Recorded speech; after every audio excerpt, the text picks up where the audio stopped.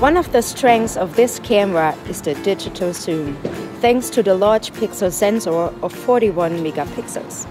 Of course, you can zoom in digital with other smartphones, but because of the limitations of the pixels, the image is getting rather blurred. With the 808 you have several options to zoom in. Here we see the 38 megapixels in 4 to 3. A picture in 16 to 9 mode is using lateral parts of circular image chips. In total there are 34 megapixels. You cannot zoom here, but it is possible with the imaging program of the Nokia to zoom into the cutout very easily.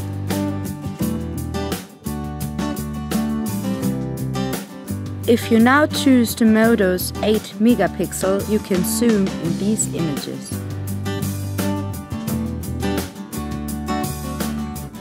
In the 5 megapixel Modos, you can zoom in a bit more. In the 2 megapixel Modos, we are quite close to the castle. Let's take a brief look at the sharpness of a 34 megapixel image in the mode of 16 to 9. This is very impressive.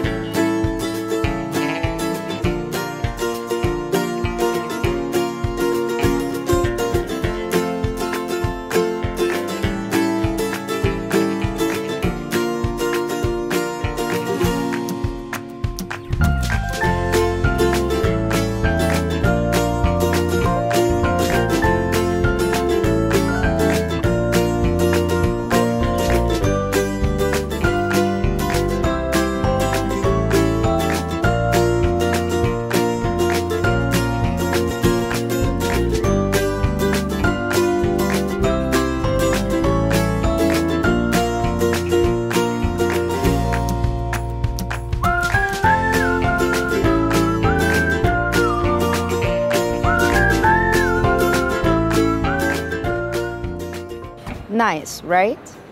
So let's take a little look to the different zoom functions. You can use the volume buttons above the left. But it's a touchscreen camera, so why not take advantage? With your finger up or down, I choose the screen size. I let go and the image goes in the size you like. And do not forget, as smaller the pixel size, the more I can zoom in. Let's take a briefly look at the video mode. Here we have not 4 to 3 as in photo mode, but only 16 to 9. We can set the following resolutions 1080p,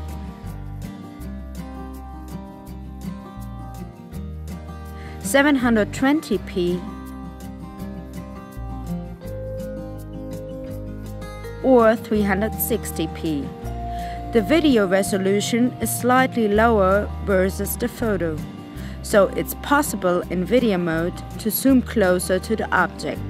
The magnification of an object is obtained in 360p mode, but the loss of sharpness is too big. And remember, when you activate the video stabilizer, you lose image informations, so the wide angle isn't quite so large.